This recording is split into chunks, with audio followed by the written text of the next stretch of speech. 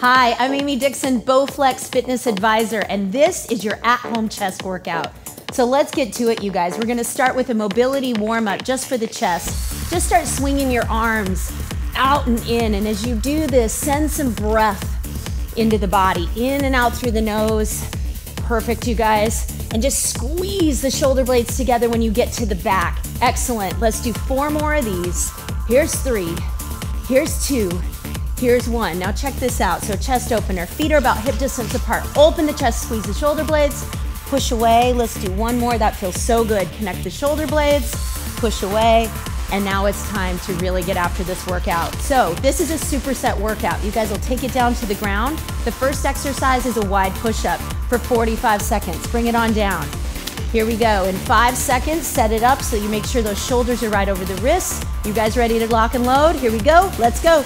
45 seconds. So on this, on this particular exercise, we're working on length through the body, so keeping those hips in alignment with the shoulders, chin is off the chest, but you're dropping that chest as far to the ground as possible, really activating through that chest.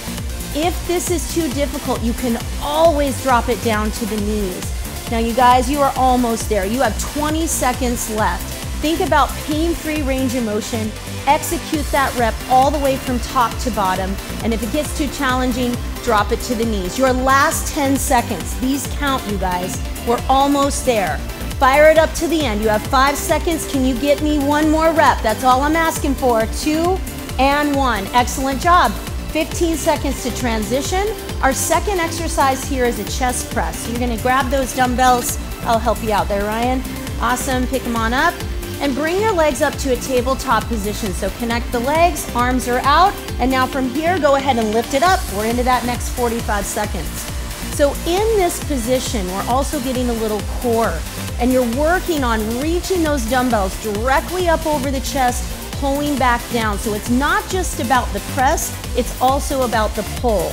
Notice how their form is flawless. So you've got those knees right over the hips, legs are connected, lower back is in the mat. And are you guys breathing? How you feeling? Good? Hanging in there, 15 more seconds. And then we do a superset of those two exercises. We run it through one more round. Keep going. Work on that extension, focus on the breath, focus on the pull. You have three seconds. Give me one more rep because you can, and that is perfect. Great job. Put those dumbbells right back to the side. And now we're gonna get after this one more time. So we're gonna hit these push-ups again in four seconds. Great work, guys, I know. Only one more time here. Take those arms out, ready, set, let's go. Down for 45 seconds, so arms are nice and wide. So you're taking those hands out, focusing on dropping down, elbows to the outside. Hips are in perfect alignment with the shoulders. And it's really about length from the crown of the head all the way through the heels. Now notice, right here, Lisa's dropped down to the knees. And I love that because number one, she's got to get herself to where she can really execute that full range of motion. And that's what it's about. If you can't move down and up, you got to drop to those knees and you can still get a great push-up in. Looking great over there, Ryan. Keep it going. Only five more seconds and this push-up is done. You're here, guys. One more rep. Give it to me. Awesome work. 15 seconds. Right back to that chest press. So I'll help you here. Pick up that dumbbell. And now lift those legs up. You don't have to hit it yet. Five seconds to go. Lift it up. Focus on the work. And let's do it. Lift up. Pull down. So this is really about your focus on how you execute movements. When you're thinking this through, full range of motion, pain-free, and lifting a weight that will fatigue your chest.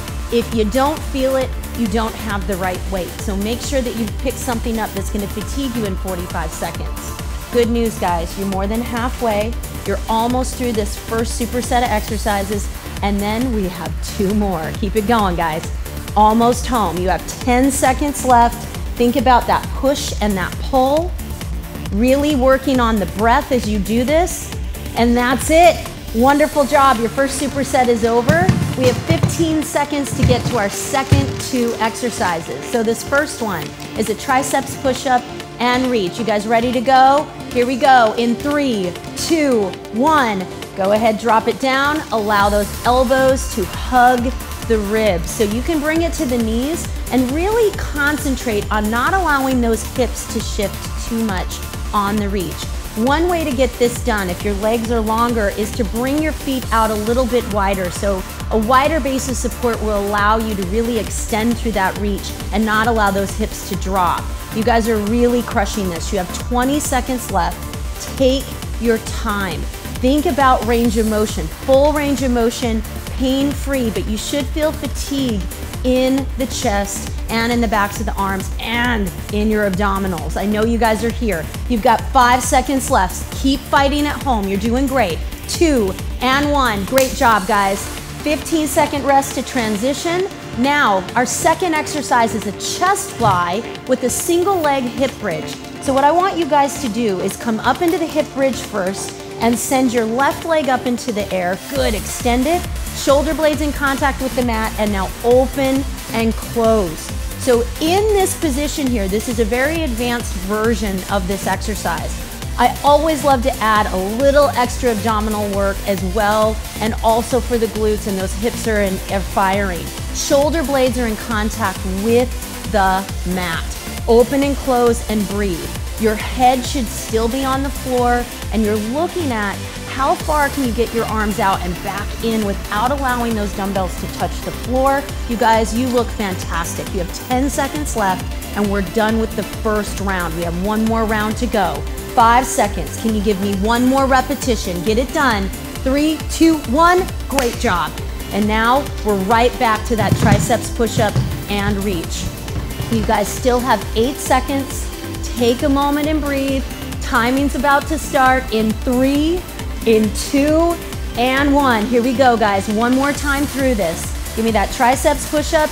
Reach that hand out in front and think about how to fire up that core. So when you're reaching, you're bracing through the core rather than sucking those abdominals in because your breath is really important.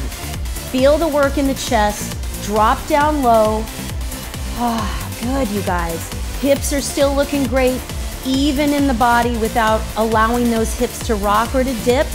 Only 15 seconds left and you're done with the push-ups, guys. Right there, good. Elbows hug the ribs. Keep working on this. Different angle of the hands, different muscle fibers we activate.